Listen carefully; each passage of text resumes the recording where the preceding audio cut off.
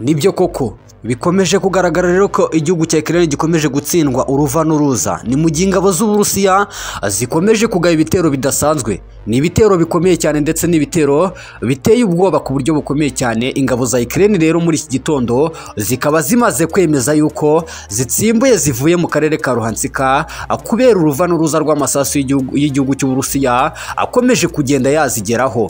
Ni ibintu bikomeye ni ibintu bidasanzwe ndetse ni intambara ikomeje kugenda ihindura isura ku buryo bukomeye cyane.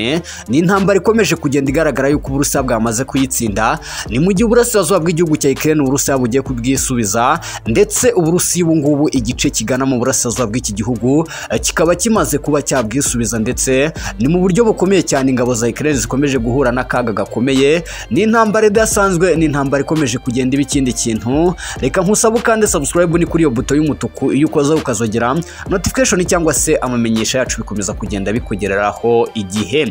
Paje nyamukuru paje tugiye kukurambura ndetse akaba ari paje n'ibitabo tuba tugiye kugenda tukugezaho inshuro eshanu ku zindi ni uko bivuga yuko Ukraine yamaze kwemera neza ko igiye kuba yava mu karere ka Ruhansika ndetse mu gihe Uburusiya bukomeje kuyimishagiraho no kwimenaho ibisasu bidasanzwe bikaba ari ibisasu bikomeye cyane akaba ari amakuru rero agisohoka muri iki gitondo ndetse ni kuri iyi saa mbiri ndetse n'iminota makumyabiri n'umwe ni bwo bije kugenda bigaragara yuko Ukraine yemeye gusohoka ndetse mu karere ka Ruhansika kubera yuko Uburusiya burimo ku- kubamenaho ibisasu n'intwaro za kirimbuzi zidasanzwe. Reka nkwinjize muri iyi nkuru ndetse nkuhe ikaze aho uri mu bice bigiye bitandukanye. Inkuru iragira iti rero ingabo z'igihugu za, Ukraine rero zemeye eh, kuva rero muri Ruhansika ndetse kubera ubukana bw'intwaro z'igihugu cy'Uburusiya akaba ari inkuru iki tugeraho kano kanya ah, tukaba twifuje kugenda tuyabagezaho inshuro eshanu ku zindi. Ibiro rero by'ingabo ndetse za Ukraine byatangaje ko zavuye mu gace ka Lychansk ndetse zari zisigayemo muri leta ya Ruhansika kubera ubukana bw'imbunda Uburusiya bwakoresheje mu gihe rero zarasaga muri iki gi- muri ndetse ni muri iki gitondo ndetse mu gitondo cyo kuri uyu wa gatatu ubwo ni ku itariki eshatu Nyakanga bibiri na makumyabiri na kabiri. Nibwo minisiteri ndetse y'ingabo z'igihugu cy'Uburusiya ndetse bakaba bamwita Sergio Shoigu yamenyesheje umu- umu- umugaba w'ikirenga perezida Vladimir Putin ko ingabo za Ukraine zari zisigaye muri aka gace rero zamaze kuvanwamo ndetse n'ingabo z'igihugu cye akaba ari Vladimir Putin wabwirwaga aya magambo. Ibiro rero by'ingabo za Ukraine mu mugoroba rero byemeje ko koko byabaye nk'uko bivugwa n'igihugu cy'Uburusiya. Nyuma y'imirwano rero ikaze biti nyuma y'urugamba rukaze muri Lychanska ni ingabo rero za Ukraine zafashe icyemezo cyo kuva mu duce zari zifite no mu nkengero z'uyu mujyi mu gihe Uburusiya bukomeje kugenda rero bwigarura ibice bigiye bitandukanye. Ati bisobanura ko rero izi ngabo z'Uburusiya zikoresha intwaro zirimo imbunda zirasa kure bita MLRC indege ndetse z'intambara ikoranabuhanga rijyanye n'igihe rero n'abasirikare benshi cyane ngo iza Ukraine zabonye ko gukomeza kurwana bishobora rero kuzi- kuzigiraho ingaruka zikomeye kandi mbi cyane. Ibi rero bikaba byaraje kugenda bivugwa na minisiteri y'ingabo z'igihugu cy'u cy'Uburusiya ndetse ibiro by'Uburusiya bikaba bikomeje kugenda bivuga yuko ubuce bikomeje kugenda bibufata. Ukraine na yo yari yihagaze ivuga yuko ibyo bavuga ari ukubeshya. Ikaba yamaze kwemeza yuko ibivugwa ari ukuri.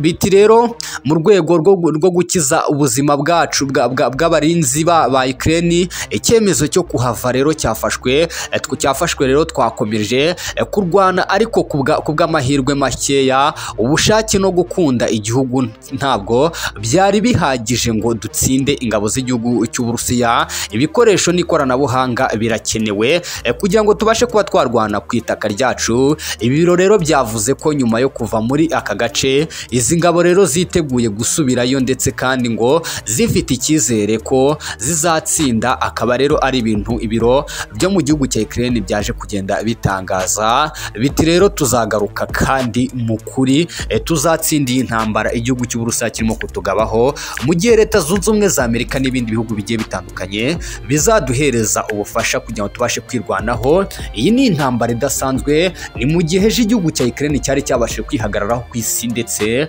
kikaba cyari cyavuze yuko ibivugwa n'igihugu cy'Uburusiya ari ukubeshya. Gusa Sergio Shoigu akaba yaraje kugenda bivuga minisitiri w'ingabo z'igihugu cy'Uburusiya.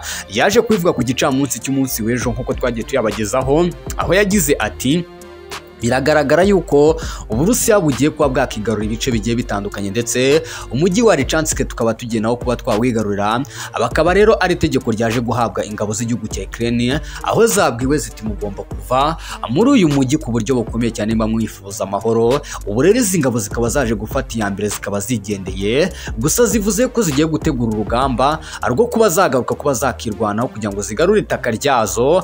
Mu gihe Vladimir Putin perezida w'igihugu cy'uburusiya yabuye akanabwira Amerika yose ndetse n'ibindi bihugu biri mu burengerazuba NATO yose ndetse n'abamurwanya bose yaragize ati twebwe twiteguye kuba twarwana urugamba twashoye kandi tuzarutsinda. Mu gihe leta zunze ubumwe za Amerika n'umuryango w'ubwirinzi wa gisirikare mu Burayi NATO byari bimaze kubwira isi yose yuko bishaka ko n'agace ka Crimea kaje gufatwa n'igihugu rero cy'Uburusiya akaba kakigarurirwa ku gihugu cya Ukraine Vladimir Putin yabisubije yihuse mu magambo agira ati ibyo muvuga ntabwo muzabigeraho ndetse ntimuzanabikora habe na gatoya. Ati usibye na Crimea ndetse n'ibindi bice biri mu burasirazuba bw'igihugu cya Ukraine umujyi wa Mariupol twabashe kuba twafata. Ibyo byose ntabwo Ukraine izongera kubigarukana mu maboko yabyo. Twabashe kuba twabwira umugabo bita Volodymyr Zelensky kuba yaza tukagirana ibiganiro birambuye. Hagati aho ngaho ntiyabashije kubyumva yarabumviye ndetse nk'abafasha be abafatanyabikorwa abaturwanya. Mwese mufatanyije na leta zunze ubumwe za Amerika mwahereye ku ntangiriro y'intambara byari kwa makumyabiri na gatandatu ni bwo mwaje gufata ibihano bidafite aho bishingiye mutari mwabashije gutekerezaho. Nakunze kubivuga nk'ubusazi mwaje kuba mwagira mwabikoze muhubutse ati rero ubwo ngubwo nategereze ndetse mu gihe n'umurwa mukuru Kiev tuzaba twawufashe. Ati iyi ntambara iri mu burasirazuba tuzahava dujya mu bindi bice akaba ari aya magambo rero uyu mugabo yaje kugenda avuga aranagira ati ntibishoboka habe na gatoya usibye na Crimea n'ibindi bice birimo Mariupol ndetse n'uburasirazuba bwamaze kuba bwakigarurirwa ubu ngubu ntabwo Ukraine rero ifite ubushobozi bwo kuba yabyigarurira.